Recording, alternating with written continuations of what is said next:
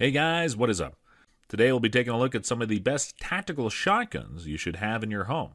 For the purpose of home defense, form factor, reliability, and ease of use are of utmost importance and could be the difference between life and death. With that in mind, I've narrowed our option down to only five shotguns. Now, I will not bore you with all the specifications and focus more on the user's experience, since the gun is only as good as the user. Of course, some may argue that a pistol may be a better home defense weapon, and I agree. However, I will not make a case that shotguns are your go to home defense gun. Everyone has different needs and styles, and so their ideal choice of firearm varies accordingly. My recommendations are for those who believe that shotguns would work best for them in such a situation. However, I also need to point out that many people choose a shotgun for that purpose. All my shotgun recommendations are 12 gauge, which is suitable for 99% of the people already. Of course, I won't ignore the recoil sensitive shooters or those who are not physically capable of taking the kick from these shotguns. For those, I say that shotguns chambered in 20 gauge or smaller would work best.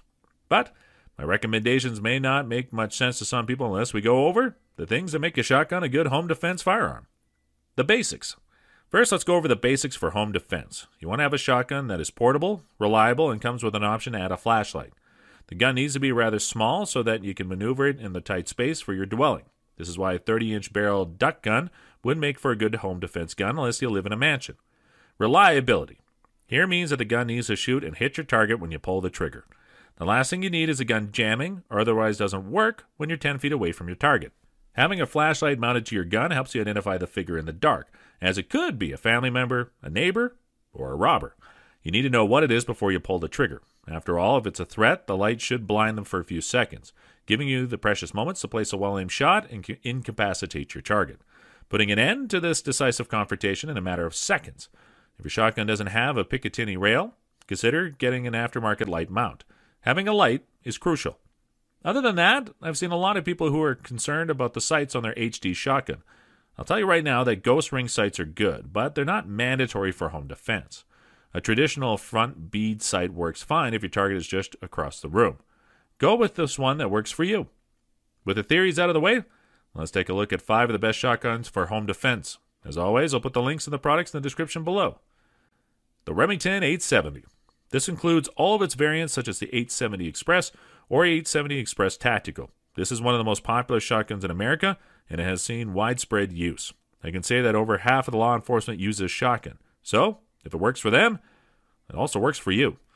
There is a budget variant of the 870 called the 870 Hardwood Home Defense. As the name suggests, this unbedazzled shotgun comes with a wooden stock and under four bills. If you want to spend a bit more, you can get one with a six shot magazine. Now that's value right there. The Mossberg 500 and Mossberg 590. Similar to the Remington 870, Mossberg shotguns are made up of a large portion of the law enforcement shotgun market. Your options for firearms include the Mossberg 500, which is a decent shotgun. However, it would be better if you could get your hands on the 590 or even the 590A1. The 590 has better magazine capacity with its bigger upgraded magazine tube. The 590A1 is a better option thanks to its heavier barrel, metal trigger guard, and assembly, and a metal safety. If magazine capacity is a concern for you, consider getting the 590M. This variant comes with a detachable box magazine, and this gives you 10 rounds of ammo capacity. Of course, with more ammo capacity comes more weight, so you need to decide whether the trade off is worth it. If any of these options seem too expensive for you, Mossberg has some offerings for budget minded individuals. The Maverick 88 series, like this one, for a budget shotgun like this, expect to see some corners cut.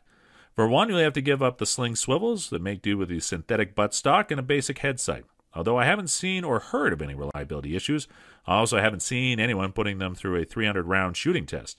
At this price point, I don't expect it to be durable at the 590. Still, if you're on a tight budget, this will serve you well.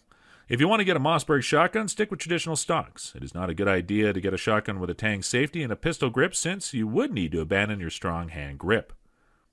The Mossberg 930. If you're worried about short stroking your pump action, then you go semi auto. For this, you have the Mossberg 930, a budget semi auto 12 gauge shotgun with 8 plus 1 round capacity. The 930 is some of the lightest recoil impulsive of all semi-auto shotguns out there. The only downside is that it doesn't do well with light birdshot loads until broken in. You'll be fine if you roll with buckshot loads or slugs of any power though. Benelli M2 and M4. One thing people worry about semi-auto shotguns is their problem with cycling low brass shells. This is where the Benelli M2 and M4 excel. What about the Benelli M1? You might ask. It is discontinued and a bit finicky with a lighter load. Some M1 owners reported that their guns can cycle anything down to heavier birdshot. However, you might have problems using lighter loads, buckshot included, within a fixed light. Moreover, it suffers from reliability issues if you use a cartridge holder mounted to the receiver. For all the above reasons, I just cannot recommend the Benelli M1. However, Benelli ironed out all these issues with their M2 and M4, which I highly recommend for home defense. Beretta 1301 Tactical. Beretta is known for making excellent shotguns, and this holds true with their new offering, the Beretta 1301. This is the gun that made a lot of pump action shotguns crowd consider their purchase option and belief in semi auto shotguns. The 1301 uses Beretta's B-Link gas system, which gives it a lightning fast cycling speed with less recoil and fouling compared to other platforms. At the beginning of this video, I've discussed what makes a good home defense shotgun, and I mentioned that the gun is only as good as the person behind the gun. Here, I want to stress the importance of practice. Familiarize yourself with your gun to the point that you can go through the routine like it's second nature. There's a lot of people out there who think they can use the gun in a home defense scenario with little or no practice. In a stressful situation like this, you'll not be able to put your shots on target or cycle your rounds properly unless you get enough practice in. It's a shame, too, because shotguns are a good home defense weapon, but a lot of people default to this option out of the sense of comfort and baseless confidence that they can defend their home when the time calls for it without even taking the gun out of the case. It does not matter which shotgun you choose to go with, be it semi auto or pump action, just make sure you take it out to the range and practice shooting with your chosen defense load in it. Practice aiming and reloading until you can do it quickly and effectively, until you can do it in your sleep if you have to. By then, you should know the pattern that your gun load combination produces from a cylinder choke at short distance as well, so you know just how to aim to make most of your shot. And there you have it. Thank you for watching. If you haven't already, consider subscribing to our channel for more useful content like this. And I'll see you again next time.